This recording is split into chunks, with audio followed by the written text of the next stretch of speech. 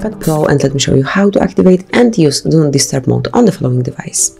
So at first let's open the settings, then scroll down, find and pick Do Not Disturb.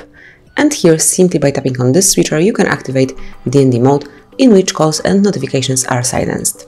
Then if you would like to switch it off, click on the same switcher one more time. You can also schedule your DND mode, click over here to do it, and then simply pick the period of time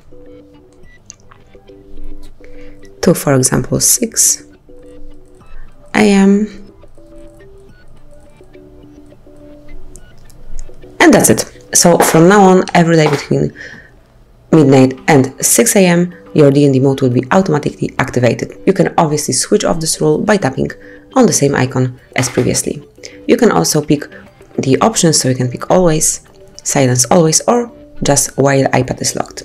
You can also add some exceptions, so click on allow calls from, and you can allow calls from anyone, no one, all, or all contacts. So it's all up to you if they will be able to reach you once your DND mode is on.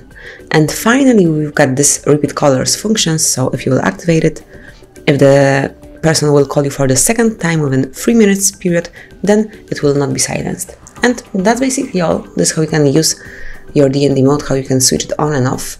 Enjoy it, Thank you for watching, please subscribe our channel and leave the thumbs up.